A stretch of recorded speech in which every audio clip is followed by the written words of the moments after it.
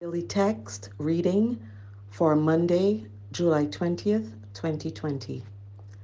Listen to me, you stubborn hearted, you who are now far from my righteousness. I am bringing my righteousness near. It is not far away. Isaiah 46, 12 and 13. New songs of celebration render to God, who has great wonders done. Awed by his love, his full surrender and fall before the mighty one. He has made known his great salvation, which all his friends with joy confess.